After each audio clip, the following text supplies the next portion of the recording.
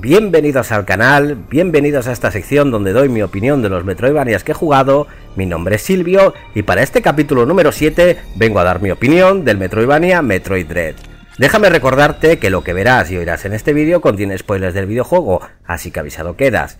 Metroid Dread salió a finales del 2021 para la consola Nintendo, la Nintendo Switch. Y la puntuación que le doy del 1 al 10 a este videojuego es de un 9 Evidentemente es una puntuación bastante alta. Yo tampoco esperaba darle una puntuación bastante alta a este videojuego por el historial de la compañía que lo hace. Y de eso voy a hablar ahora un poquito y luego ya entraremos más en materia, ¿vale? La compañía que hizo Metroid 3 se llama Mercury Steam, es un estudio español. Yo conocí a Mercury Steam por el simple hecho de que Konami eh, hizo un contrato con ellos para que hiciesen un reboot. No sé si es la palabra reboot. Bueno, Digamos que coger la franquicia Castlevania, eh, eh, coger el lore que tenía ya de por sí, la historia de, la franquicia Castlevania, eliminarla y crear una nueva. Y esta compañía lanzó tres videojuegos, tres videojuegos llamados Castlevania Loro Shadow. Los dos primeros, el Loro Shadow 1 y el Loro Shadow 2, mayormente vienen a ser un hack and slash tipo God of War. ¿Vale? ¿Qué es lo que pasa? Tú avanzas, resuelves los puzzles, puzzles de plataformeo, puzzles de precisión, etcétera, etcétera, etcétera, y llegas a una zona, te encierran, combate, matas a los enemigos y sigues avanzando. Y así sucesivamente. Luego lanzarían también, ¿vale? Entre medias de estos dos, es que no estoy seguro que si fue entre medias o si fue después del Loro Shadow 2. Yo creo que es entre medias. Perdón. Entre medias lanzarían el Castlevania Lord Shadow eh, Mirror of Fate para las 3DS. Evidentemente yo no tenía una 3DS ni tampoco tenía potencia en el ordenador como para emular una 3DS y, mucho menos en aquel entonces donde todavía estaba muy verde dicho emulador. Así que eh, dije, vale, pues nada, pues este de aquí que se parece a un Metroidvania pues no lo voy a poder jugar. Tampoco es que jugase a ningún Loro Shadow, ¿vale? Esto lo jugó mi hermano y si de alguien me fío de la opinión y de los gustos es de mi hermano, evidentemente. Eh, él sí lo jugó, a él le encantó el primer Loro Shadow. El Loro Shadow 2 le gustó menos que el primero, pero le gustó. Y con el tiempo, Konami eh, cogió y lanzó el Loro Shadow Mirror of Fate eh, para Steam, poniéndole como coletilla HD. Entonces dije, joder, pues ahora es mi oportunidad, ¿vale? De probarlo y a ver qué tal. Eh, lo probé, evidentemente, empezamos jugando con Simon. Mm, me gustaba el diseño de Simon en este juego, se veía un poquito más cascado que el de Super Castlevania 4. Pero dije, bueno, vale, o sea, Simon, eso no. Recordad que yo lo comenté que eh, nosotros, tanto mi hermano como yo, nos compramos una Super Nintendo fue por Super Castlevania 4. Y da la casualidad que el protagonista de Super Castlevania 4 es Simon Belmont. Entonces, que yo aquí en el Lord of Shadow Mirror of Fate HD esté jugando con Simon Belmont, pues ya me estaba agradando eso, ¿no? Eh, pero me puse a jugar y lo que pude ver es. Tiene exactamente la misma jugabilidad que tendría eh, o que tiene Lord of Shadow, ¿vale? Pero en vez de ser en 3D, como sería un God of War, es en 2D. ¿Vale? Como un Metroidvania, como un Castlevania Symphony of the Night. Sin embargo, la jugabilidad sigue siendo la de un hack slash en 3D. Evidentemente no tenemos profundidad izquierda y derecha, pero tenemos el sistema de combos y algunos añadidos más que, por ejemplo, no tenías en la versión doméstica, para llamarlo de alguna manera que lo entendáis, ¿vale? Y no me disgustaba, no me disgusta porque no es el primer eh, Metroidvania que juego tipo hack slash. Ya jugué a uno llamado Dust and Elysian Tale, del cual ya cuando le, le toque lo hablaremos aquí en el vídeo. De Castlevania Loro Shadow Mirror of Fate HD no voy a hablar por el momento porque todavía no me lo he acabado y de, y de ahí por lo que lo estoy utilizando aquí. No sé si lo acabaré o si lo acabaré jugando en un futuro, nunca se sabe. No lo descarto, evidentemente, pero por el momento no. Y, y aquí os explico un poquito brevemente el motivo por el que. A mí lo que más me gusta de un Metroidvania, ¿vale? Es perderme, siempre y cuando tengamos la posibilidad de comprar un mapa, evidentemente, pero perderme, encontrar cosas y que esas cosas que encuentro explorando el videojuego me, sean recompensadas de alguna manera. Por ejemplo, me encanta muchísimo la exploración de, de cualquier juego de Metroid por el simple hecho de que lo que voy a obtener en Super Metroid o cualquier Metroid es algo que voy a utilizar. La mayoría de lo que vamos a encontrar, por ejemplo, en Super Metroid son, misiles, misiles, supermisiles, bombas de poder, pero son cosas que siempre utilizas. O sea, sí que es cierto que en algunos se exceden con la cantidad de misiles que puedes recuperar o que puedes obtener explorando y te echa un poquito para atrás, decir, joder, esperaba algo más que fuese simplemente un tanque de misiles. Pero prefiero eso a, coger y tener lo que dije en Castlevania Symphony of the Night. 50.000 equipos que simplemente van a estar en mi, en mi, en mi menú y que no le voy a sacar ningún partido. Entonces, yo, yo prefiero los misiles, pero esto es a cada gusto. No hay nada escrito, ¿sabes? Entonces, a mí no me gusta ese sistema, ese sistema de, de obtener recompensas por explorar un Metroidvania, que es lo que tiene Castlevania of the Night y la mayoría de los Castlevanias, tipo Metroidvania. Y prefiero mucho más el de, el de los Metroid. Sí, vale, es un tanque de misiles, pero sé que ese tanque de misiles yo lo voy a usar. Claro, Tú ves que en el Castlevania Lord of Shadow Mirror of Fate HD, la mayoría de lo que encuentro explorando este videojuego simplemente son cadáveres de guerreros que han muerto en batalla y sus notas. Sí que tiene algo más, pero evidentemente no es lo suficientemente bueno. Eso añadido que eh, no me parece que la jugabilidad sea tan fluida. ¿Sabes? No quiero decir que el personaje sea tosco, pero no se mueve a una velocidad que a mí me guste. En fin de cuentas, yo seguí jugando, seguí jugando, seguí jugando, seguí jugando, hasta que llegué a un punto en el cual eh, me dejaron de lado a, Simon y me, permitieron jugar con Alucard. Sí que es cierto que yo no esperaba que el Alucard que me estaban permitiendo jugar en Loro Shadow Mirror of Fate fuese como el de Symphony of the Night. Sin embargo, sí que me esperaba que fuese algo diferente a Simon Belmont. Al fin de cuentas, llevo ya unas cuantas horas jugando con este personaje como para que me des otro personaje que se juegue igual. Y es exactamente eso. Se juega exactamente igual. Dentro de la historia del videojuego tiene sentido. Pero había necesidad de hacerlo así, ya que me estás poniendo para jugar otro personaje, ¿no hubiera sido mucho más original darle, dotarle de otro tipo de arsenales? No lo sé, me echó bastante para atrás cuando pasó eso y literalmente quité el videojuego. Eh, me puse a jugar a otros y lo acabé dejando aparcado y y no lo he vuelto a tocar. Por eso es lo que digo, yo ya sabéis, si, seguís esta sección desde el primer capítulo, yo comento que ni te recomiendo ningún videojuego de estos, ni te estoy diciendo que lo vayas a jugar o que no lo vayas a jugar porque a mí me parezca bueno me parezca malo. No te estoy recomendando ningún videojuego. Pero tampoco voy a dar mi opinión de ningún videojuego el cual yo no considero al 100% un Metroidvania, ¿vale? Sí que es cierto que si está considerado en Steam o tiene la pestaña como de Metroidvania en Steam, lo pruebo y si lo pruebo y me lo paso, hablaré de él, luego lo trataré como corresponda, ¿vale? Pero eh, si no me he pasado ninguno de esos videojuegos, no voy a hablar de ellos. Aquí simplemente estoy utilizando lo de Mirror of Fate, simplemente para que entendáis a dónde quiero llegar con lo de Metroid Dread. Bien, mm, no opino de un videojuego el cual evidentemente no me he terminado, sin embargo, poco tiempo después esta compañía lanzaría otro Metroidvania, pero en esta ocasión de manos de Nintendo, con el remake del Metroid 2. Esto eh, me enteré yo, ¿vale? Por el simple hecho de que un fan, creo que era argentino, creo que se llamaba Doctor M o algo así, ¿vale? Eh, el cual estaba haciendo el remake del Metroid 2 de Game Boy, no 2, Metroid 2, ¿vale? Eh, el cual se tiró prácticamente, casi, casi prácticamente 10 años.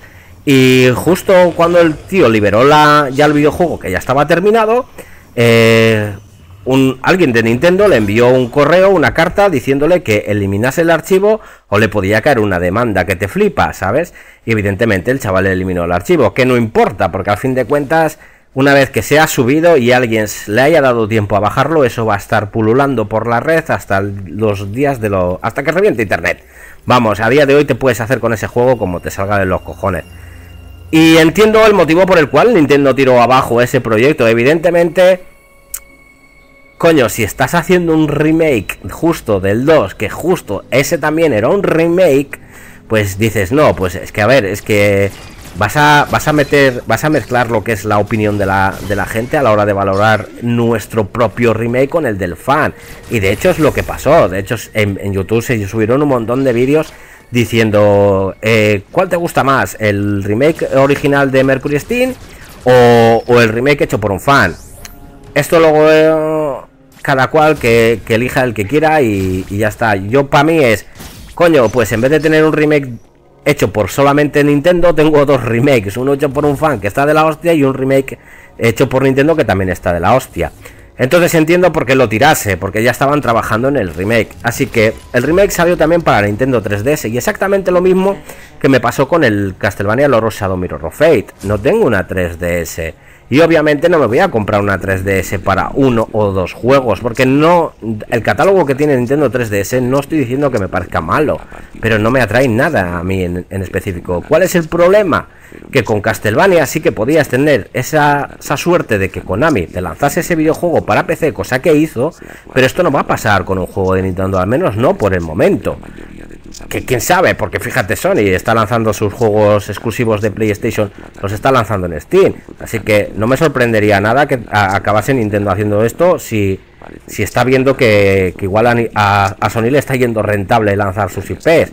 Al fin de cuentas, ya han dado el dinero que tenían que dar en la consola. Pues yo que sé, imagínate que ahora Nintendo anuncia una Switch 2, ¿vale? Y la gente no, que, le, quiera jugar, yo que sé, pues al Zelda Breath of the Wild, pero no quiere comprarse una Switch, que me sorprendería por, lo, por la cantidad de consolas Switch que se ha vendido. Pero vamos, que si Nintendo quisiera sacar más dinero de ese videojuego, simplemente o lo pasaría a su nueva consola, o lo sacas en PC, ¿sabes? Y, y que la gente de PC lo disfrute sin tener que comprarse una Switch. Igual no sacas mucho beneficio, no lo sé, no sé cómo funciona esto, pero vamos, que lo que sí sé es que por el momento Nintendo no te iba a sacar esos juegos para PC, así que o te haces con una Nintendo 3DS o tienes un buen equipo y tienes que esperar de que el emulador de la Nintendo 3DS vaya lo suficientemente bien como para que corra ese videojuego. Da la casualidad que después de un tiempo eh, sí que he podido jugarlo, ya que el emulador corre bastante bien. A mí no me va perfecto del todo, me pega igual alguna que otra bajada de FPS es un milisegundo, ¿vale? Me pega un paroncillo y pan, y... pero no, nada que no impida jugar y disfrutar el videojuego.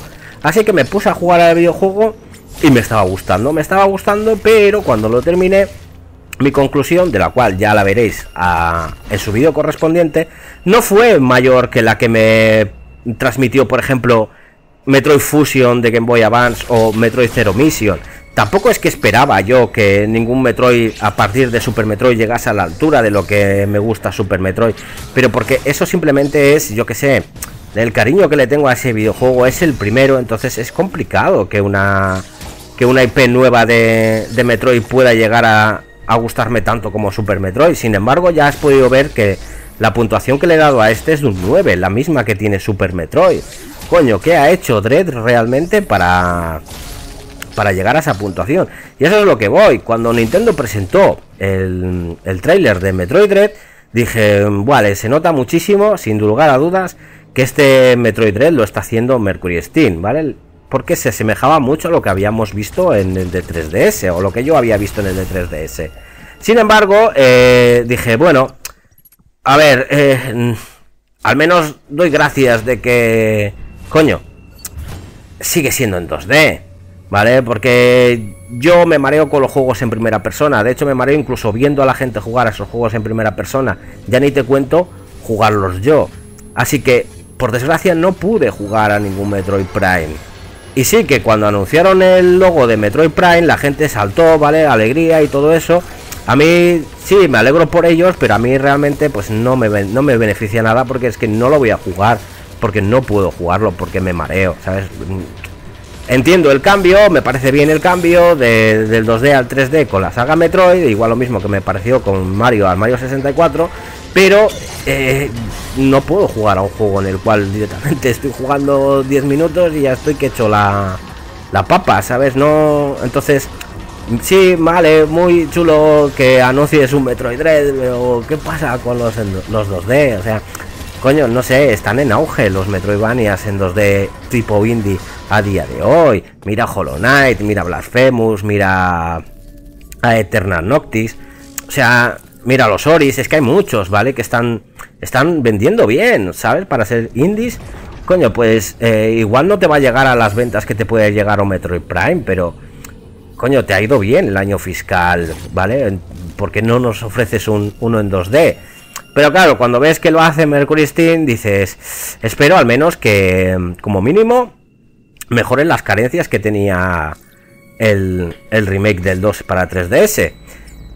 Evidentemente yo me conformaba simplemente con el hecho de que, coño, pues si, si está igual de bien como está el de 3DS, pues yo me conformo con eso. Y fíjate por dónde me sorprendió, pero, pero muchísimo y para bien.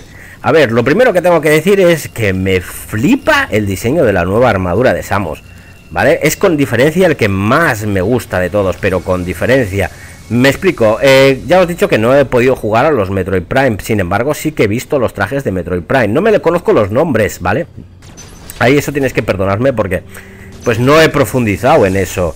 Sin embargo, yo siempre me quedaba con el diseño clásico de, del traje de Samus de Super Metroid, ¿vale? Cuando el que fusionas con el Varia y el Gravity Suite, ¿vale? Que acaba siendo moradito con esas sombreras y esa coño, era imponente. El traje de Metroid Fusion no me disgustó, ¿vale? Porque entiendo que si hiciese ese traje de esa manera para darle esa impresión al jugador de una Samus débil frente a lo que se le va a venir y, y no podrías hacerlo si le pones el mismo traje clásico, ¿vale? Porque es lo que os digo, el traje completo de Samus, cuando tienes el Varia y el Gravity Suite, impone bastante. Entonces, si tú lo que quieres hacer es que no imponga, pues obviamente vas a tener que cambiar el diseño. O simplemente, pues no querían utilizar el mismo diseño del traje de Samus todo el rato y lo cambiaron. Ya sea que te pueda gustar más o ya sea que te puede gustar menos. A mí en el caso personal, pues me gusta menos que, el traje clásico, pero posiblemente pueda existir gente que la cual, pues coño, pues le guste más, ¿no? El de Metroid Fusion. Y ya os digo, si tuviese que elegir me quedaría con el de Super Nintendo, pero tampoco quiere decir que no haya trajes que no me hayan gustado. A mí los trajes con el Fazon de los Metroid Prime, a mí me han gustado. No sé si era uno blanco, creo que era uno blanco que tiene, lo que no sé es en cuál. En el primero que estoy seguro que no era. Lo que no sé si es en el Metroid Prime 2 o en el Metroid Prime 3. Sé que en alguno de esos tiene un traje blanco, el cual pues el diseño me molaba bastante. Pero el que, el que nos han presentado en Metroid Dread me parece sublime. O sea, es que me flipa las tres variantes de ese traje. Pero, pero todas. O sea, el primero que es. A ver, nosotros cuando iniciamos el juego en la intro, ¿vale? Podemos ver que, que Samus lleva un traje. Supuestamente debería ser la evolución del traje del Metroid Fusion. ¿Vale? No llega a ser igualito que el del Metroid Fusion, pero mayormente viene a dar a entender eso, ya que el traje automáticamente se va regenerando con el tiempo, incluso después de haber sufrido lo que sufrió su traje en el Fusion, ¿no? Así que como el traje va regenerándose, pues es diferente al del Fusion y ya estaba muy guapo ese. Pero claro, cuando nosotros iniciamos el videojuego lo perdemos todo. Evidentemente esto es una mecánica que tiene que tener todos los Metroid sí o sí, porque a diferencia de los Castlevania, ¿vale? Que como son diferentes protagonistas, no necesitas el coger y reiniciar a un personaje, como es en el caso de Samus. Simplemente, si tú juegas a Castlevania Symphony of the Night, pues coño, estás jugando con, con la Luca. Pero luego cuando juegas al Castlevania Circle of the Moon, es con Nathan. Luego cuando juegas al Harmony of Dissonance, es con... ¿Cómo se llamaba? El del Harmony of Dissonance.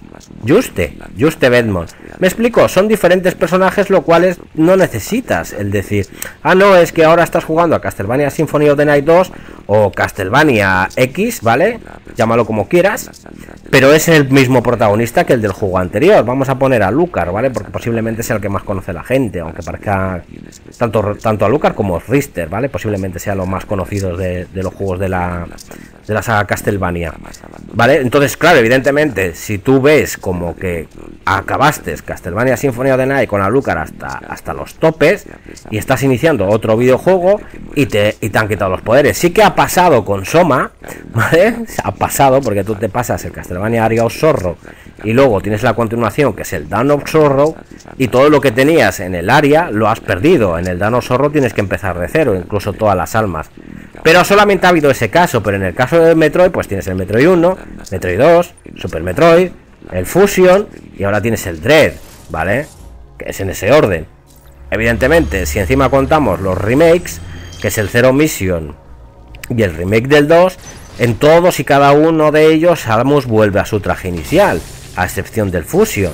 ¿Vale? Porque por el parásito, parásito X se le corrompió el traje, patapín, patapán, ya tenían una excusa para, para resetearle las habilidades a Samus, porque evidentemente Samus cuando terminas cualquier de los videojuegos a partir de Super Metroid para adelante, evidentemente no podemos contar ni el 1 ni el 2 porque era bastante más limitado, ¿vale? Aunque sí que tenía ciertas habilidades que las, las mantuvo a lo largo, pero no tenía esa cantidad de trajes. Creo que en el, en el 2, en el Metroid 2, sí que tenías el Varia o el Gravity. Uno de los dos tenías, lo cual mm, no sabía si eran los dos o incluso tiene los dos. No tengo ni idea, nunca lo jugué, ¿vale? Yo solo jugué al remake. Entonces no tengo ni idea. Pero vamos, que la mayoría conoce los trajes es a partir de Super Metroid, ¿vale? Porque, coño, eh, estás en colores, son 16 bits, no es una consola de con una pantallita monocromática, creo que se dice la palabra, que es verde y ya está, ¿sabes? O sea, yo creo que hicieron ese cambio de... Creo que también en el primero podías cambiar de traje, pero no, no estaba el Gravity. Uno, uno de los dos no estaba, lo que no sé es en cuál, ¿vale? Pero bueno, ¿qué es lo de menos? Que lo que quiero decir es que dices, coño, pues eh, está muy bien, ¿vale? Pero, pero, eh, tienes que reseteárselo. Tienes que reseteárselo. ¿Por qué? Porque es que literalmente hay magias, por ejemplo, el Screw Attack. que eso no puedes iniciar un juego nuevo con eso. Porque es que literalmente revientas a todos los enemigos.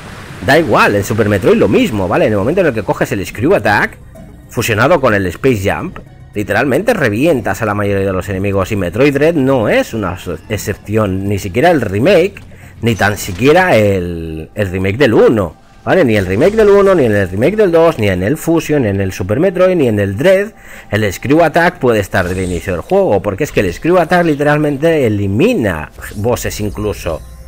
Entonces, e, evidentemente tienes que resetearlo. ¿Cuál es el problema? Que sigue siendo Samus. Entonces, ¿hasta qué punto va a llegar Nintendo de trabajarse historias en las cuales van a iniciar eh, un juego en 2D tipo Metroidvania de Metroid, en el cual tengan que buscarse la manera como sea posible de la manga para que cuando tú empieces ese videojuego te quiten lo que has obtenido, ¿vale? Del juego anterior. Porque, por ejemplo, Metroid Dread es la continuación directa de Metroid Fusion. Eh, y tú cuando terminas Metroid Fusion tienes un montón de poderes. Entonces, ¿qué ha pasado con esos poderes?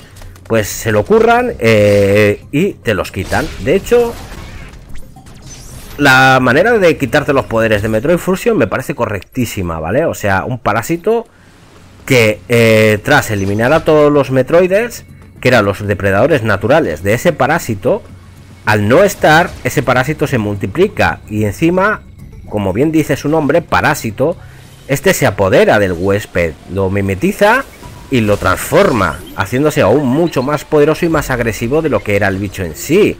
Y puede clonarse, o sea, es que es la rehostia y, que eso eh, se, se adentrase en el cuerpo de Samus, el cual le tuvieron que inyectar células Metroid porque, como bien he dicho, era su depredador natural pues evidentemente entre que le tienes que quitar la armadura quirúrgicamente porque se ha corrompido prácticamente todo tu traje, evidentemente has perdido gran parte de tu poder. Tiene mucho sentido. ¿Y cómo podemos hacer que lo que recuperaste de poder en Metroid Fusion lo pierdas en Metroid Dread? ¿Vale? Pues sencillamente añadimos que lo que lo que te ha llamado a venir a este planeta sea un propósito ¿vale? Y el propósito eres tú, ¿vale? O sea, tú no vienes al planeta por el vídeo que te he enviado a la Federación Galáctica de como que el parásito X que tú creías que lo habías exterminado sigue existiendo, sino que vienes a este planeta engañada. Y, el, y quien te encuentras era algo lo que yo realmente siempre he querido que, que hicieran y que rara vez lo han hecho en los 2D, bueno, en los Metroidvanias. Desconozco el de los Metroid Prime, ¿vale? Que creo que sí que son ruinas, pero no creo que no llegas a ver a ningún chozo vivo. Y aquí sí. Digo, guau, cuando vi a, al jefe con el que te enfrentas en la intro, dije, joder, es que eso está claro que es un chozo. Y lo que está más claro que el agua es que ese tipo lo que porta es una armadura como la que tienes tú. O sea, ese tío es un guerrero, es un chozo guerrero. Porque lleva, lleva un suite igual que tú. O sea, evidentemente no es idéntico pero coño, que es la misma. O sea, al fin de cuentas son los creadores del traje de Samus. Dije, joder, qué puta madre, tío. O sea, directamente ya nos estás presentando un chozo. O sea, esto tiene que pintar que te cagas. O sea, por favor, por fin voy a ver algo de los chozos vivos. Y joder, la historia me encantó, sinceramente. Y el motivo por el cual pierdes, pierde Samus los poderes en Metroid también me parece que está bastante bien. Siempre y cuando se le ocurren así de bien, A mí, por mí, encantado, pero también os voy a decir con la mano en el pecho, ¿eh? Es que me da igual. Me da igual si, si a mí lo que me importa es que me sigan sacando Metroid en 2D tipo Metroidvania. Me da igual que, excusa, que, la excusa de quitarle los poderes a Samus sea la más barata que te vas a encontrar en el mercado. Me la suda, porque yo lo que quiero es jugar a un juego de Metroid, ¿vale? Y ya está. Claro, siempre y cuando sea eh, en un Metroidvania sea en 2D, no me, va, no me vale un Prime, ¿vale? Porque ya sabéis por qué no puedo, que me mareo. Y, y tengo que decir que el traje de Metroid Dread es que me parece increíble todas las versiones que hay. Es mi favorito con diferencia y, yo creí que no iba a superar al, al del Varia y el Gravity Switch fusionados que, vimos en Super Metroid, ¿vale? Pero es que el del Dread me flipa, es que me encanta lo bien hecho que está y lo increíblemente detallado y la cantidad de animaciones y lo increíblemente bien que se ve y el trabajazo que ha hecho Mercury Steam con el con, con, las animaciones en 3D de Samus de Metroid Dread es chapó, o sea, es que sin duda alguna, esa compañía no tuvo muy buen inicio, ¿vale? Con el tema de los Castlevania, porque con el Oro Shadow 2 tuvo bastante mala prensa.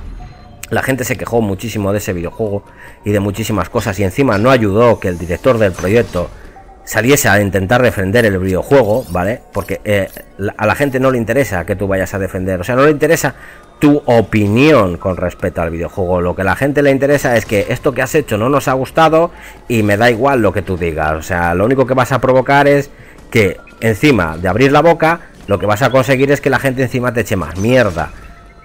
Y luego, claro, eh, pues tampoco sabemos el presupuesto que tuvieron para hacer el remake del Metroid, Draw, del Metroid 2. Siempre digo Dross, porque como digo Metroid, ¿sabes? Ya me sale el Dross directamente cuando es 2, simplemente es un maldito 2.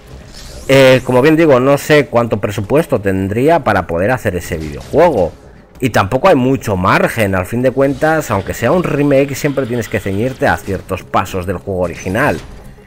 Y claro, con Metroid Dread seguramente sí que se pudieron tomar lo que es eh, más libertad y, se nota, ¿vale? Se nota. Uno de los problemas que tenía yo con el remake del Metroid 2 eh, es que el flujo, ¿vale? Yo esto para mí esto es algo bastante importante y es que cuando un juego eh, tiene unas mecánicas en las cuales te hace ir lento en el videojuego, no me disgusta, pero no creo que sea la mejor opción para mí. Y esto era un problema que tiene de base el remake del 2. Y yo creí que esto también iba a pasar con Dread, porque a fin de cuentas no deja de ser la misma compañía la que lo está haciendo. Y aunque pueda mejorar muchos aspectos de lo que a la gente le gustó o no le gustó del remake del 2, hay mucha gente como yo que, por ejemplo, simplemente coge y hace un vídeo y da su opinión y, poco más. O sea, no va por ahí a, foros o le envía cartas a Nintendo diciendo lo que me gusta y lo que no me gusta. Porque al fin de cuentas no soy más que un pelagato. Y, y, a mí me gusta que la compañía me sorprenda. O sea, si le tengo que decir, ah, es que esto no me gusta, pero él te va a decir, ¿qué cojones eres tú? ¿Sabes? O sea, no, nosotros hacemos un videojuego, luego vemos si de toda la gente que lo ha comprado todos coinciden en la misma queja. Entonces, si todos coinciden o la gran mayoría coinciden en la misma queja, si tenemos que lanzar un siguiente proyecto, coño, pues evidentemente vamos a corregir eso. Véase Ori, ¿vale? El Ori 2, el sistema de guardado del primer Ori a la gente no le gustó, a la mayoría de la gente no le gustó y en el 2 lo eliminaron por completo. Pero bueno, ya hablaremos de esos videojuegos porque también pienso traer esos dos, ¿vale? Pero es lo que quiero decir. Entonces, ¿para qué me voy a molestar yo en, ir a Nintendo y decirle que, que, porque igual lo que a mí me molesta, que es el flujo del videojuego, igual a la mayoría ni siquiera se da cuenta y lo pasa por alto, dándole completamente igual. A mí no. Y, y esto viene a raíz del sistema de parry, ¿vale? ¿Qué pasa? Que el parry, tú cuando realizas un parry y lo realizas bien, el momento en el que le has dado el parry, puedes pulsar el botón de disparo si lo haces en el tiempo correcto, el daño que inflige eso es muy elevado, prácticamente eliminando a un enemigo de un golpe. Evidentemente, tienes que haber realizado un parry correcto. Si no haces un parry, tienes que darle bastantes disparos de tu disparo básico que tienes. Hasta que no potencies ese disparo, esos bichos, los primeros incluso del videojuego, aguantan bastante. Otra solución es dispararle misiles, pero claro, estos no están tan coreografiados o tan estáticamente colocados como estaban, por ejemplo, en Super Metroid por las limitaciones que tenía el tema de disparar en Super Metroid, ya que solo podíamos disparar en, en ocho direcciones. Sin embargo, en Metroid Dread, Metroid Dread y en el remake también incluyeron un disparo en 360 grados, claro, pero si son máquinas de absorber daño, los enemigos, pues evidentemente si no tiras del parry, muchos de estos te van a infligir mucho daño. ¿Por qué? Porque les estás disparando, piensas que van a morir de, dos o tres disparos, pero no, no, no mueren, entonces te embisten. Igual luego se mueren con un cuarto, ¿vale? O igual simplemente con un supermisil lo puedes matar, pero si no lo haces te van a embestir y te van a quitar bastante vida. Y evidentemente, si no haces el parry, pues vas a estar sufriendo constantemente daños y puedes llegar a morir. Sin contar que, claro, también tienes muchos entornos que te hacen daño y muchas cosas así. Entonces, eso, eh, eso baja bastante el ritmo del juego. Y, es como os he dicho, al tener el, el disparo en 360 grados, el cual no podemos desplazarnos en ningún momento para poder apuntar en 360 grados, pues evidentemente pues más que te frena. Evidentemente el juego puede disparar en 360 grados sin estar frenándote, pero no vas a tener esa precisión de cuando estás quieto ni de lejos, porque nosotros necesitamos apretar un botón para activar el apuntado en 360 grados. Pero no quiere decir que Samus no apunte ya de por sí en 360 grados porque lo apunta. Pero claro, tú, yo qué sé, sin estar quieto o sin que se ralentice la pantalla o haga algo parecido, el disparar apuntando en ciertos puntos exactos con el analógico es complicado y eso es a donde yo voy. Los enemigos no están posicionados de tal manera en el cual un disparo en diagonal te vale. No, ¿sabes? Que se están desplazando constantemente y el intentar golpearles con un misil o con diferentes disparos, pues no es fácil. Entonces lo mejor es el parry, pero eso baja el ritmo del juego. Y esto, claro, cuando lo enseñaron en Metroid Dread, el tráiler, se veía que mantenía. Sin embargo, aquí lo han cambiado por completo, cosa que me ha flipado, pero una cantidad que no os podéis ni imaginar. No me lo esperaba ni de lejos. Para primero, para, empezar, lo primero que han añadido, ¿vale? Diferente es una, un deslizamiento, ¿vale? Samus, en vez de transformarse en morfosfera, cosa que es lo primerito que prácticamente coges en la mayoría de los Metroids en este videojuego, no. Entonces, para que puedas hacer que Samus se adentre en zonas eh, en la cual requerirías el tener la morfosfera, pues evidentemente le, añadieron un deslizamiento. Esto, esto, aparte de que aligera la de Dios, Pero mogollón, ¿eh? Aligera el juego una barbaridad. Porque el hecho de que tú vas corriendo hacia una zona y en vez de coger y agacharte y transformarte en morfosfera, que sería dos hacia abajo, ¿vale? En el caso de la 3DS bastaba con tocar la pantalla táctil y automáticamente Samus se transformaba en morfosfera. Pero bueno, aquí luego le añadí, aquí tiene un botón, ¿vale? Tú vas corriendo, apretas el botón y automáticamente se transforma en morfosfera y avanza. ¿Qué es lo que pasa? Que para poder transformarte en morfosfera en el Metroid Dread tienes que estar quieto. ¿Vale? Si le das dos abajo, te transformas. Pero si quieres transformarte a través del botón, tienes que estar quieto. ¿Por qué? Porque es el mismo botón en el cual haces el deslizamiento. Y está tan bien pensado de que si tú te adentras en una zona en la cual deberías de entrar con morfosfera, ¿vale? Pero ras del suelo y tú haces el deslizamiento, automáticamente Samus irá deslizándose hasta que alcance la salida. Y si tienes la morfosfera, en el momento en el que te metes en eso deslizándose, llega al punto en el cual lo que es la distancia que recorrería de por sí el deslizamiento, automáticamente se transforma en morfosfera sin frenarte. Y a esto añádele que como bien os comenté lo del tema del parry del, remake, en el cual tenías que hacerlo quieto, no podías hacerlo de otra manera, ¿vale? En Metroid Dread me lo mejoraron considerablemente. Puedes hacer el parry estando quieto, puedes hacer el parry corriendo, puedes hacer el parry agachado, puedes hacer el parry estando en morfosfera, puedes hacer el parry deslizándote y puedes hacer el parry saltando. O sea, es que tú mira la cantidad que han añadido en comparación lo que tiene, por ejemplo, el remake del 2 para la 3DS. Es que es una barbaridad. El otro solo tenías uno y solo lo podías hacer en el suelo. Aquí lo puedes hacer de todas las maneras. Y no solamente lo haces de, de todas las maneras, sino que la animación cambia.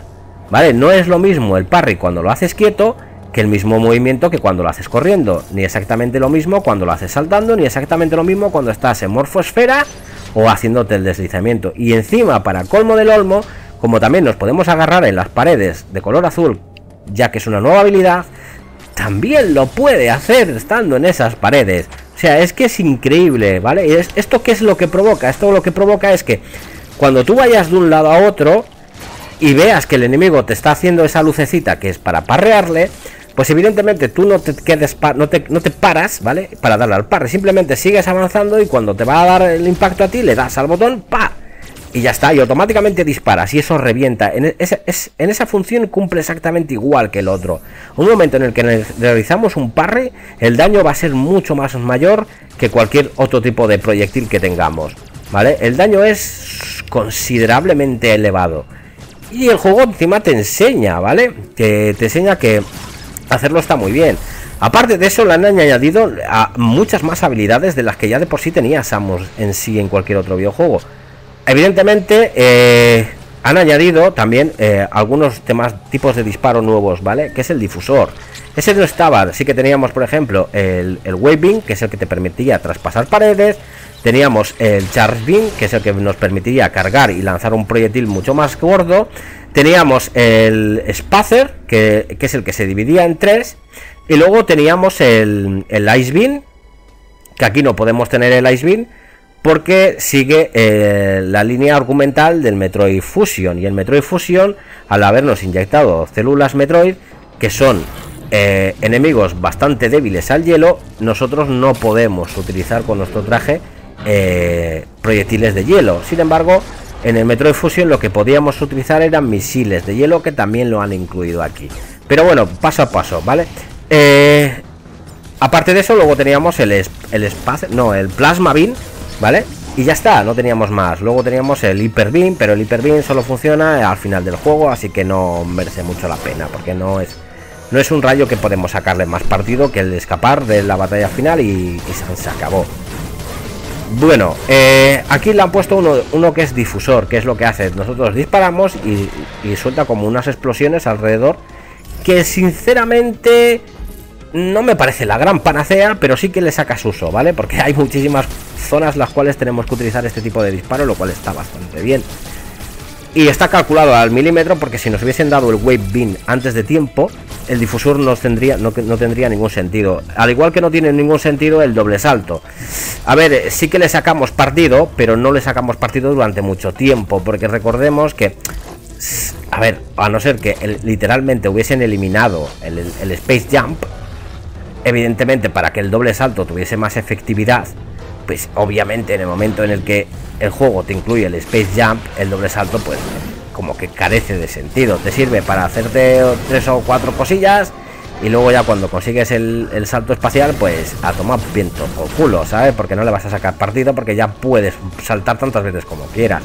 Pero en cambio el añadido del dash me parece increíble, el añadido del, del tema de, hacernos invisibles con el Aeon también me gustó muchísimo. En general me gustó muchísimo lo que es el tema de las nuevas habilidades y, las habilidades que ya rescataron, como por ejemplo el Speed Booster, el de poder acelerar. Está muy bien implementado porque en el de Super Metroid solo podíamos, o en el Zero Mission y en el Fusion, solo podíamos ir eh, hacia la izquierda, hacia la derecha, hacia arriba o en cualquiera de las diagonales arriba y ya está. Aquí podemos ir en cualquier dirección, ¿vale? O sea, arriba, abajo, izquierda, derecha, diagonal arriba, cualquiera de las dos, o diagonal abajo, cualquiera de las dos. Eso está genial, le da muchísimo juego. Aparte de que también han añadido más, más, más habilidades, como por ejemplo el disparar ráfagas de misiles, el de poner una, un tipo de bombita, la cual hace una explosión en cruz que nos facilita llegar y alcanzar ciertas zonas que no podríamos con el roto salto, que es el saltar estando en morfosfera. Está genial, la historia me gustó muchísimo, la música quizás no destaca tanto ni tampoco es tan inmersiva como lo que me pareció a mí Super Metroid, pero es correcta, ¿sabes? O sea, a mí personalmente me gustó.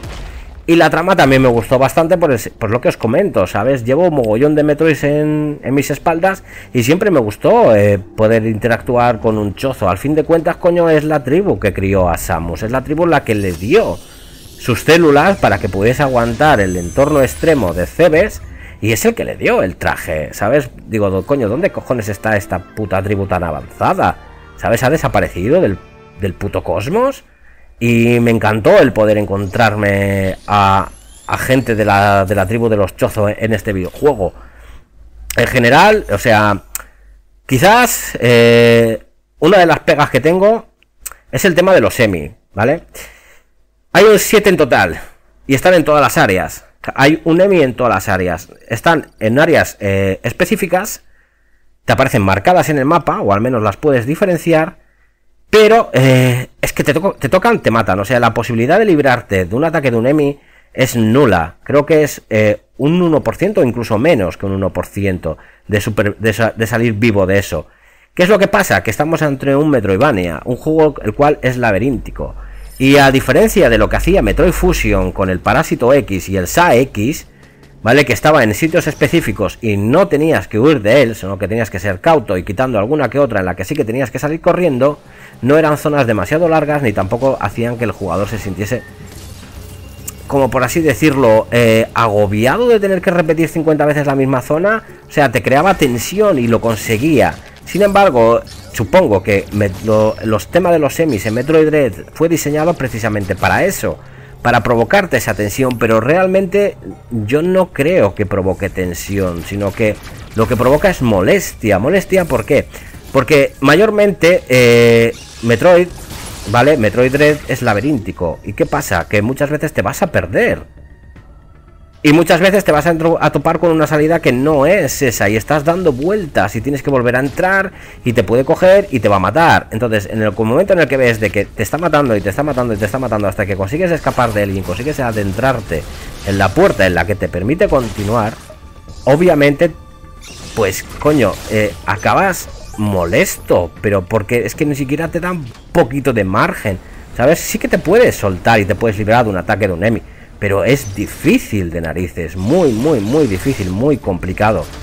Y yo personalmente es lo que os digo, en Metroid Fusion sí que consiguió esa atmósfera, pero en Metroid Dread no lo consiguió. No me disgusta el tema de los emis, ¿vale? Tampoco lo malinterpretéis, no estoy diciendo que me parezca malo, ni que no debería de estar, pero sí que es cierto que yo hubiera preferido eh, otro tipo de cosas. De hecho, hubiera preferido que fuesen mini bosses o bosses, ¿vale? El cual me puede costar un reto, me va a matar unas cuantas veces hasta que me aprenda sus patrones. Y lo que voy a tener a cambio, pues es lo mismo que obtienes al matar un enemy. Pero es lo que os comento, o sea, al cabo, pues, eh, coño, se vuelve un poquito estresante. Más que provocarme esa sensación de, de miedo, ¿sabes? Eh, yo creo que lo hubiera planteado de otra manera, pero también es lo que yo digo. Yo no juzgo un videojuego entero por una mecánica que a mí no me haya convencido. Porque ya os digo, no me disgustó. Simplemente hubiera preferido otra cosa. De hecho, me he pasado Metroid Dread eh, como unas 4 o 5 veces. Le he metido un speedrun. Le, me lo he pasado en, la, en normal, en difícil. Le he sacado lo que es el 100% de los objetos. No he sacado todas las imágenes, pero vamos, que es que estoy, estoy segurísimo al 100% de que lo voy a rejugar unas cuantas veces más con el tiempo, ¿vale? Porque me ha gustado mucho. Y no hay mucho más que añadir, porque es que literalmente prácticamente todo, quitando menos lo de los semis, ¿vale? Que, que en sí no me disgustó, y por ahí, y, a raíz de eso no tiene más puntuación que el 9, ¿vale? Eh, quizás la otra cosa que tampoco me convenció del todo es que en este videojuego los, los las zonas no están interconectadas como estaban, por ejemplo, en Super Metroid. Aquí se conectan a través de teletransportes, ascensores o tranvías. Bueno, tranvías, es que no sé cómo llamarlo eso. Yo creo que es como un tranvía, pero vamos, que tú no puedes acceder a una zona rompiendo una pared o metiéndote por un hueco, no, no, sino que la única manera de acceder a una zona es a través de esto y eso son las cargas del juego. Al ser un juego tan grande y tener las zonas tan grandes, pues evidentemente tienen esas cargas. A mí personalmente no me he convencido del todo. Pero tampoco me disgusta, es lo que os digo. O sea, si no, coño, no le hubiera dado un 9. El juego me ha encantado. Ojalá, y lo digo de aquí, ¿vale? Desde el ya, que si Nintendo tiene pensado lanzar otro Metroid en 2D con el tiempo, coño, que se lo den a Mercury Steam. Porque esta compañía ya lo tiene pillado. Pero, de, pero completamente el concepto de cómo tiene que ser un Metroid en 2D. Pero vamos, pero sin lugar a dudas, porque todas las mejoras que, que le han añadido a este videojuego con respecto al anterior son muy notorias y a mí me ha fascinado, fascinado. Y, ya está, ya os digo, no hay mucho más que añadir. Espero que os haya gustado este séptimo capítulo. Eh, os leo en comentarios y os lo respondo. Y nos vemos en el siguiente. Que paséis un buen día y chao, chao, gente.